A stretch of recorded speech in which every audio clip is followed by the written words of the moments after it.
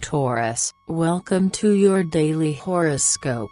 Daydreaming is on the cards. You have an irresistible urge to make your presence felt more. Don't insist on remaining silent. Your increased perseverance is tiring you physically without your being aware of it. Give yourself the rest you need. Mood You are nice to everyone and the atmosphere between people is becoming healthier. You feel completely at home.